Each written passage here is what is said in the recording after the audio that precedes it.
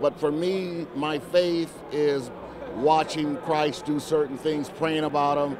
This year it's been fun because we started with an empty little bottle, and it was, uh, and we were talking about the faith of a mustard seed. And after our first win, I gave everybody one. And you know, now we look at this thing and it has like 15 mustard seeds in it. And you think that the bottom of that thing has these mustard seeds, but the guys keep saying, remember when it was empty?